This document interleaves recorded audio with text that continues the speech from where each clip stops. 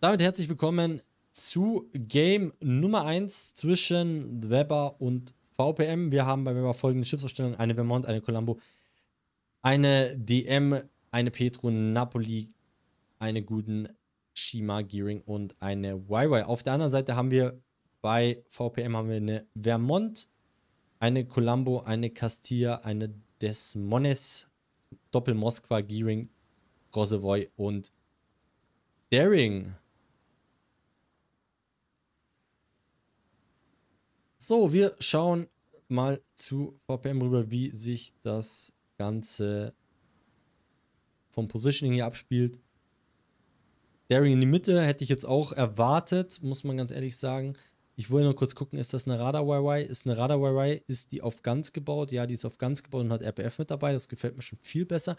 Wir haben Gearing Smoke Train mit der DM.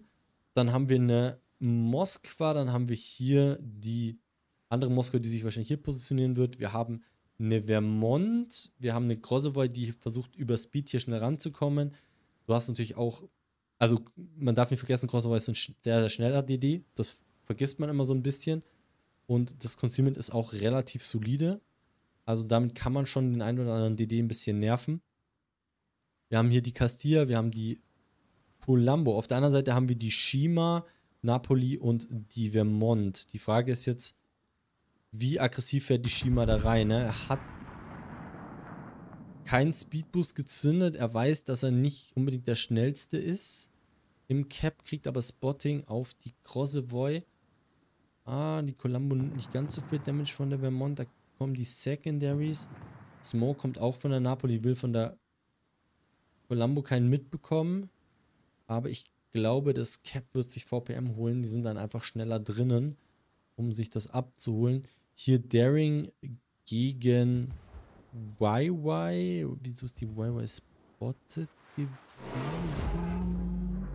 Okay, sie versuchen jetzt die Daring hier rauszukriegen mit den Guns, aber ich sag's ganz ehrlich, als YY bist du halt nicht sonderlich schnell.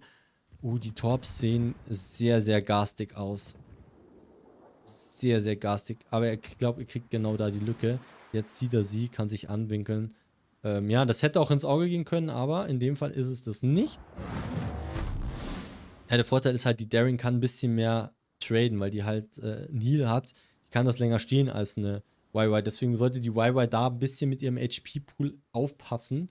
Weil alles, was weg ist, ist weg. Und bei der Daring ist da doch ein bisschen mehr am Start.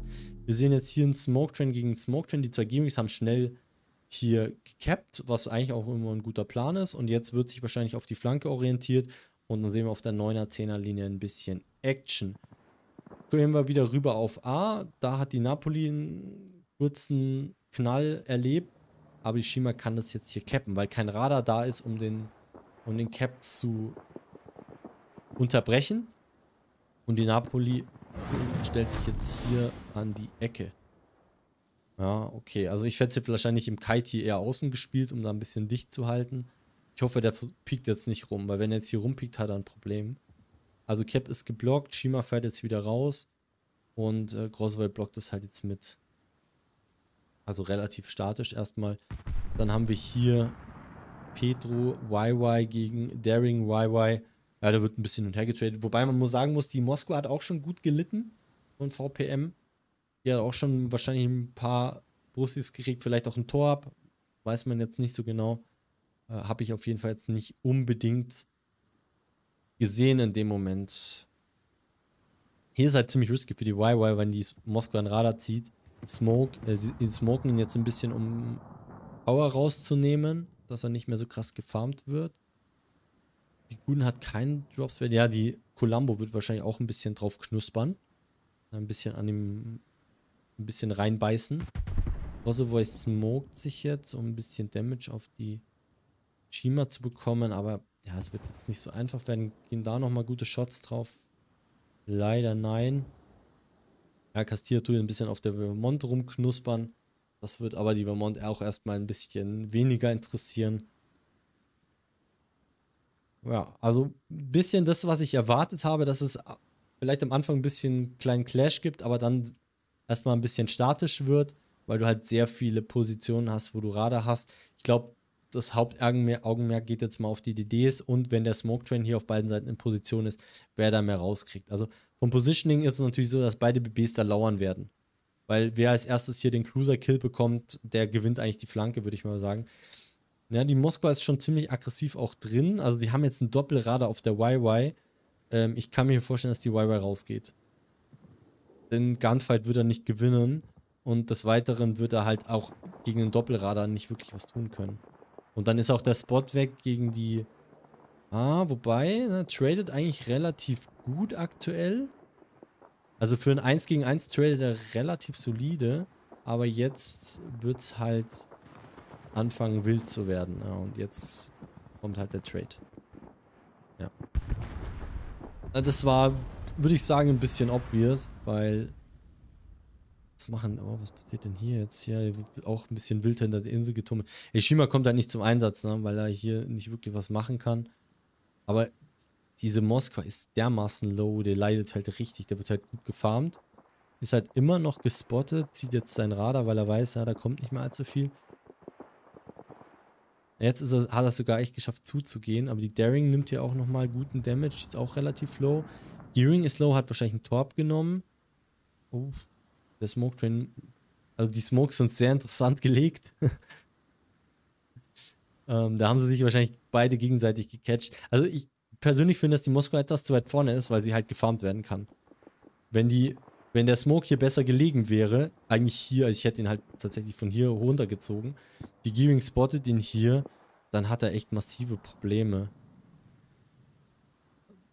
Es ist auch, boah, der kriegt die, hier die Napoli richtig eingeböllert. Ich weiß auch nicht, was die Shima da macht. Also hier, weiß nicht, Weber spielt hier ganz komisches Gameplay. Ich schiebe jetzt die Vermont ein bisschen vor, aber die haben halt gegen diese wohl irgendwie nicht wirklich eine Antwort. Und den Napoli jetzt gegen eine Columbo zu schicken, ist jetzt auch eher nicht so nicht so spannend oder nicht so spaßig. Ja, aber wie gesagt, hier diese Moskwa wird halt auch ein bisschen leiden. Die Petro schiebt sich jetzt rein, finde ich gar nicht so einen schlechten Move im ersten Moment. Wenn er einen Radar ready hat, vielleicht kann er die Petro killen. Ja, die Guten müsste auch vielleicht gucken, dass sie demnächst mal ein Play zusammenkriegt. Ne? Ein bisschen, äh, bisschen für Unruhe sorgen. Ähm, weil man muss da ein bisschen jetzt aufbrechen. Sie sind ein Schiff behind. Okay, warum war die, warum war die Daring jetzt spotted? Das Radar von der Petro war nicht, war nicht ready. Und jetzt kann halt kann sein, dass er stirbt. Da geht die Moskwa raus. Wie gesagt, zu aggressive Position. Ne, war klar, dass die da gekillt wird. Und ähm, ja, die Daring hat jetzt so viel HP verloren, dass sie halt dieses B-Cap nicht mehr contesten kann. Ich weiß jetzt nicht, wie er spotted war, aber er hat halt da in dem Fall richtig viel HP verloren. Sie wollen halt diese Grossevoy unbedingt kriegen, aber sie kriegen sie halt nicht. Sie haben so viel HP verloren, nur um den halt hier zu, zu bekommen. Und ja, die stehen halt jetzt bei, gleich alle zu sechs, also in Summe zu sechs hinter einer Insel. Da passiert halt nicht wirklich was. Und hier kannst, hast du halt wenig Material zum Zugriff, weil du so viel HP verloren hast. Ähm, ja, da, hier musst du aufpassen, dass du mit der, mit der ähm, Columbo nicht zu deep reinfährst, ähm, weil sonst kriegst du da richtig Probleme, weil du wirst halt Übrigens, die Daring ist tot, das ist mir ein bisschen nicht aufgefallen. Um es mal nett auszudrücken. Ähm, das ist natürlich relativ fatal. Weil du schiebst jetzt eine Columbo rein ohne Cover vom Smoke Train. Wenn der Smoke Train hier greift, dann wird es unangenehm. Er, er, wird auch, er kriegt auch das Cap nicht. Ne? Er wird halt resettet werden. Hier, die DM schießt Open Water, Breitseite, aber hat wahrscheinlich hat die liegen die Türme nicht gedreht. Ja, das habe ich mir gedacht, weil die wollen diese Moskwa killen, höchstwahrscheinlich. Da ist der Fokus drauf, was ich auch verstehen kann, wenn der, der raus. Oh, das war eine 10k-Schelle. Also hier könnten sie ihn echt kriegen. Wenn sie den kriegen, kann die Petro hier vielleicht auch noch ein Play machen. Aber die Guten sollten auf jeden Fall jetzt ein bisschen vorschieben, um Support zu geben. Hier sind sie jetzt im Crossfire drin mit der Columbo. Dann lieber zu Vermont winkeln, das ist das geringere Übel. Die Gearing könnte sich hier smoken mitgunnen. Ähm, wer soll den aufhalten und da Druck auf, aufbauen? Also hier die Vermont kriegen, das wäre halt auch sehr, sehr geil. Denke ich mal für Weber. Weil sie müssen auf jeden Fall was machen. Ne? VPM hat den Schiffsvorteil, sie haben auch den Punktevorteil, sie brauchen einen Play. Und es könnte hier sein, dass die Columba für einen Ram geht und sagt, der Ram ist fein. Oh, der Torpedo. Oh, der okay, der hittet nicht. Äh, okay, wird hier der Drive-By fokussiert oder versuchen sie wirklich sich zu rammen? Okay, es gibt den Drive-By. Ähm, die Frage ist, wer Drive-By besser jetzt gerade? Ähm, ja, also die Vermont hat auf jeden Fall den besseren Drive-By hingelegt. Ähm, wird jetzt von der Gearing aber beschossen. Darf jetzt nicht den Fehler machen, zu weit aufzudrehen, was die Columbo jetzt macht, weil der dreht nämlich jetzt wieder zurück und kann halt jetzt gepunished werden. Ich hoffe, er kriegt noch eine Salve raus, sonst war das ganz bescheiden. Uff, Uff da schießt er ihm auf 100% auf die Panzerung rauf und dann geht die Columbo raus. Also das war gut gespielt von VPM hier, von der Vermont, aber von der Columbo eher semi-gut umgesetzt. Die Napoli fährt jetzt in die Grossevoy rein und die Grossevoy hat den Kill nicht bekommen. Oh, das wird jetzt unangenehm. Ich würde da als Napoli nicht torpen. Da kommt der Kill auf die Moskau und auf die Petro parallel, aber der Counter-Kill ähm, nochmal. Und dann kommt der nächste Kill auf die Gearing. Wow, also geht es ja Schlag auf Schlag. Hier werden ja richtig die Schiffe auseinandergetreten. Ja, also die Gulden muss jetzt schauen, dass sie in eine Position kommt, wo sie lang überlebt und so lang wie möglich unangenehm ist. Das wird sehr, sehr wichtig sein. Napoli ist auch raus. Aber ich glaube, jetzt kann VPM hier den Deckel drauf machen. Sie haben jetzt deutlich bessere Trades gemacht. Ähm, ich weiß gar nicht, wo, von wer die ganzen Schiffe jetzt auf einmal wieder hin sind. Äh, ja, das wird jetzt, das wird jetzt schwierig werden. Hat er, die Frage ist, hat er ein paar Drops ready? Kann er vielleicht die Vermont killen? Die Petro müsste halt jetzt das machen. Die Shima kriegt das Cap. Also die Shima kann das hier ziemlich lang rauszögern gegen zwei Schiffe. Die zwei Schiffe sind halt jetzt ziemlich lang äh, nicht existent. Und die Petro müsste hier reinfahren und schauen, dass sie ein Positioning bekommt. Hat halt, ach, er hat das Cap noch nicht. Da ist die Frage, warum er halt so lange noch nicht das Cap sich geholt hat. Also sehr, sehr wild. Ähm, da darf er jetzt nicht ranfahren, weil die Vermont nimmt natürlich gerne den RAM. Weil wenn der RAM hier durch ist, kommt er for free rein. Ja, also ich hätte eher geguckt, dass ich vielleicht mich anders positioniere. Ähm, nicht nose innen drauf fahren, weil das war jetzt eigentlich die schlechte... Da schießt er in den Berg. Weil du machst halt nichts. Ne? Jetzt nimmt er den Ram und du bist raus. Also es war jetzt, glaube ich, die schlechteste aller Möglichkeiten, weil da kriegst du am wenigsten raus. Und damit verlierst du alle Caps. Du musst für ein Play gehen, dass du hier noch Impact generierst. Die Petro hat das zwar als Cap geholt. Also die Hoffnungen liegen so ein bisschen auf der Shima, dass die vielleicht noch einen Kill machen kann. Aber der hat jetzt auch wieder Torpedo-Reload. Wir haben jetzt noch sechs Minuten im Spiel. Die Petro wird jetzt wahrscheinlich von der DM gekillt. Und die Gearing holt sich das Cap. Also das ist, äh, würde ich sagen, auf jeden Fall Deckel drauf äh, für VPM. Ähm, ja, ich denke, wir hat es ein bisschen weggeschmissen. Sie hatten zwischenzeitlich echt mal die Möglichkeit, das Ding hier zu holen. Aber dann, ähm, keine Ahnung, war ein bisschen zu greedy, in gewissen Situationen zu passiv, in gewissen Situationen zu aggressiv. Ähm, ja. Ich glaube, dass die Schiene auch nicht wirklich funktioniert hat. Also ich hätte hier irgendwas mit Radar vielleicht positioniert. Wir haben einen guten Fokus auf die Moskwa gekriegt. Sie hätten vielleicht, also ich finde es interessant, dass Daring da halt auch noch lebend rausgekommen ist. Wahrscheinlich hat er sein Radar nicht mehr ready gehabt. Ja, der DM-Kill hier oben für war halt auch, wenn du da deinen Smoke-Train so schnell verlierst, ist halt auch nicht so geil. Du konntest hier die Moskwas gut punishen.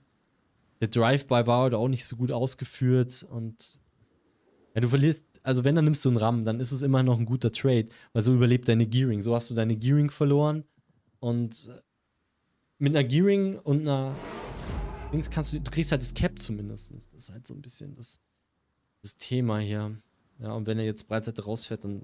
Also der DM-Spiel müsste eigentlich nur vorfahren und killen. Einfach nur drauf und killen. Ja. Der ist Breitseite, da passiert jetzt nicht mehr so viel. Schön unter die Türme ist die Sache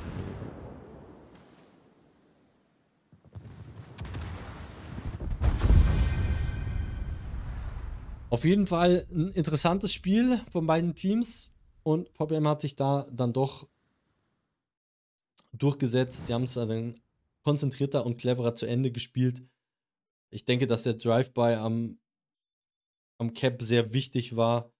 Ähm, und auf der anderen Seite hat Weber halt auch nicht geschafft, diese Crossboy da rauszukriegen und da nicht wirklich Druck aufzubauen. Ähm, ja, also herzlichen Glückwunsch an VPM und ja, viel Glück für die nächsten Games.